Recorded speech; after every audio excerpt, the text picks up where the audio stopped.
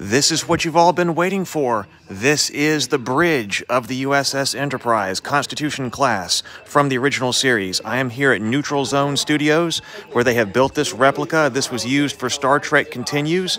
And gee, look at this beautiful set that they've got. Of course, I had to sit in the captain's chair and also man Mr. Spock's station as well but the amount of detail that has gone into this and just attention and care is just incredible. I'm to step down into the command pit here. Look at this. And then we can look from the captain's perspective, taking a look at the view screen over Sulu and Chekov's shoulders right here. So we even have that, and you can hear the sounds of the bridge.